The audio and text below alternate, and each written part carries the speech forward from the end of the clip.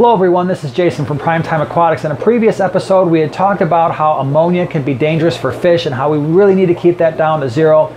The next water parameter we want to talk about is nitrite. And so in this nitrogen cycle, fish are producing ammonia as part of a waste product, usually due to breaking down proteins. After the ammonia accumulates, there will be bacteria that break the ammonia down, essentially use it as a food source, and convert that into something called nitrite. Now, the nitrite is also dangerous to our fish.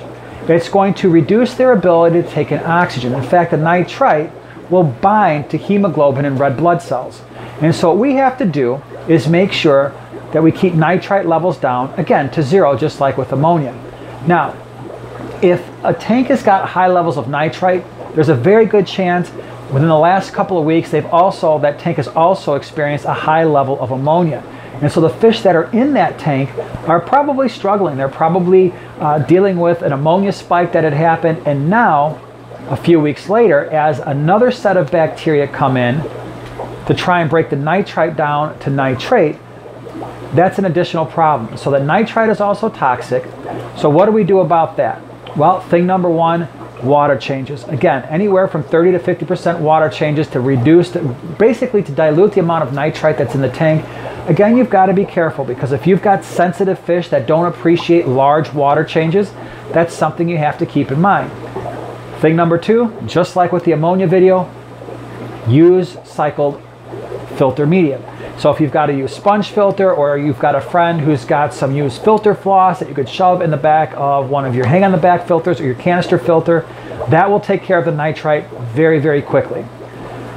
Next thing you can do is add salt. And again, you have to be very careful with the amount of salt that you add because if you've got live plants, you've got invertebrates, you've got some organisms in there that don't appreciate high salt concentrations, you could be doing more damage. But what the salt will do Unlike with the ammonia where the salt was really just helping the fish increase their mucosal layers, which it will do here as well, the salt will bind nitrite, preventing it from binding to your red blood, the fish's red blood cells, thereby increasing the amount of oxygen that your fish get. And this is what it really comes down to. Just like the ammonia prevented fish from getting oxygen, the nitrite does that as well. It just does it in a little bit of a different way. So you can add a little bit of salt, that will help. Adding used filter media, that is definitely going to help and will be the probably the quickest way to bring the nitrite levels down. And again, the water changes, if you can't do uh, the used filter media, will help dilute that until we get another group of bacteria that's going to basically use the nitrite as a food source and produce nitrate. All right, and again, just like the, the ammonia issue, you can reduce feeding, that's going to reduce the amount of ammonia that's going into the tank that's being converted into nitrite. You can reduce stocking levels and have less fish in there. Again, reducing the amount of bioload that's going on in the tank. I recognize for a lot of people that's going to be difficult to do if this is your first fish tank. So probably the best options are the used filter media, the water changes, and adding a little bit of salt into that tank.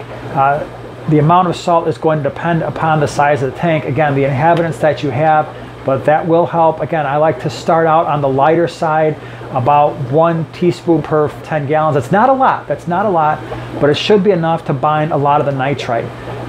Just like we talked about with the ammonia video, you should definitely have some way to test water parameters, whether that is a liquid test kit or the test strips, uh, some way to test and make sure that you don't have problems with ammonia and nitrite. Uh, these are two very common water parameter issues that can cause fish death and ill health and lead to other opportunistic infections. So if you like this video, subscribe, thumbs up, share it. We appreciate you watching and we'll see you in the next one.